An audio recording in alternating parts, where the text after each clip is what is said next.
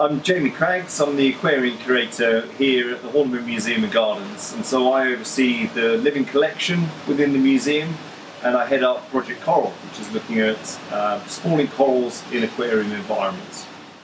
Project Coral started uh, in 2012 and it started with a really simple question. Could we get broadcast corals to spawn in a very planned and predictable way in, a, in an aquarium ex situ environment? And if we can do that, taking that a step further, can we then start manipulating the time of year which corals can spawn, but do it in a very planned and predictable way so that we can uh, develop a whole research program around that. It's really been uh, five years of work to create a platform of this spawning, uh, which then is enabling lots of other research um, to occur. Trying to stimulate broadcast spawning has always been a bit of the holy grail of um, the research community, but also uh, you know the hobby community. Um, there have been spawning events in public aquariums and people's home aquaria, but they've always been unplanned, unpredictable events, often catching the onlooker by surprise. And with that, you can't then do any work with the gametes. Um, so fundamentally, what we're trying to do is make it predictable, so that we know when the coral is going to spawn. Uh, we can collect the eggs and sperm, and then do in vitro fertilization, and, and lots of research can then take place once we've cracked that.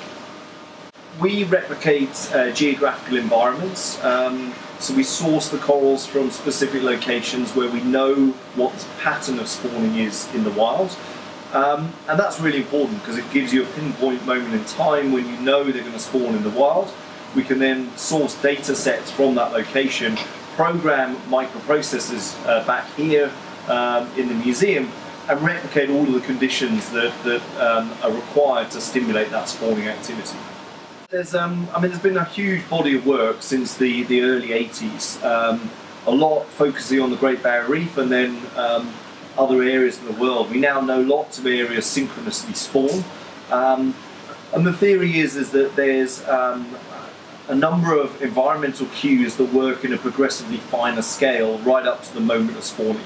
So there's still some debate about whether temperature or something called solar irradiation um, is the thing that's initially cueing them up to spawn, uh, telling the coral which month to go, and then the interplay between the photo period and the lunar cycle is the, the, the they're the, the parameters that sync the coral into the exact night, but also in some cases the exact minutes of each year which to go. So we have been working with Acroporas. Um, the reason behind that is their uh, branching, so we can break branches off and look at the gamete development. It takes between three and five months for the eggs to develop. Um, we've so far spawned 18 species of acroporids.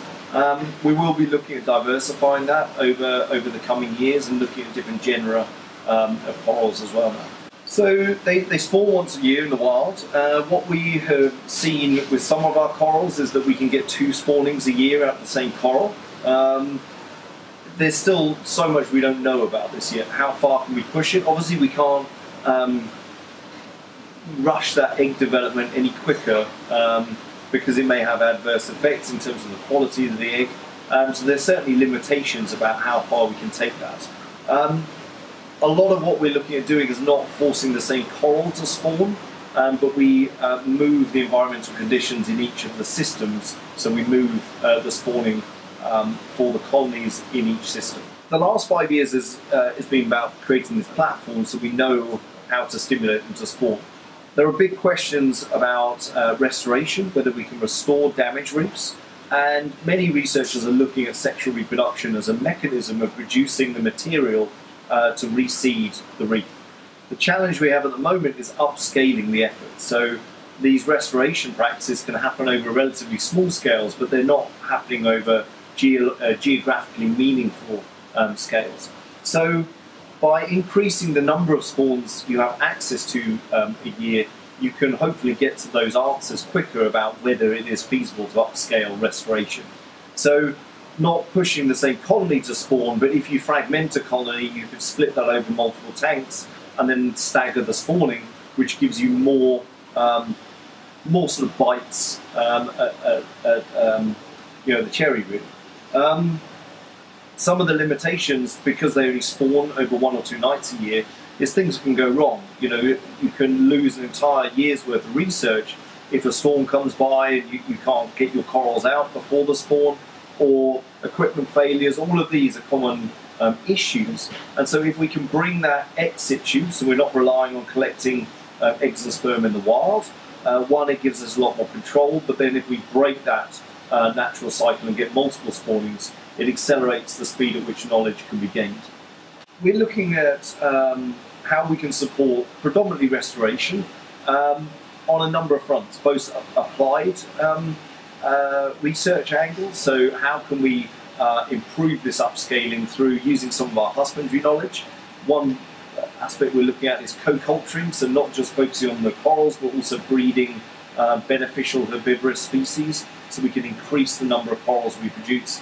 But then we can also start looking at um, uh, uh, reproduction at a fundamental level. One of the great access that we have here is we're replicating two different geographical environments. So we spawn both Australian species as well as Singapore species, and we can uh, move uh, those spawns that they coincide.